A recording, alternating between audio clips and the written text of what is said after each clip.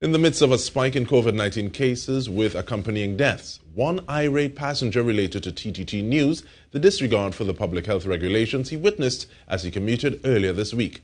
Triston Wallace explained to TTT News that he was traveling from his home in Valsayn to Curepe Junction when the incident occurred. And only after I get comfortable, I noticed that the driver sitting one seat away from me was not wearing a mask. And I was stunned. Like I didn't, I didn't even know what to make of it. I was just kind of confused. He said he jumped out of the maxi before he got to his destination to avoid putting himself at further risk.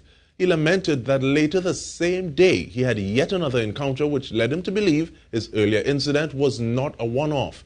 This time he said he was in the Warrenville area headed back to his home in Valsayn.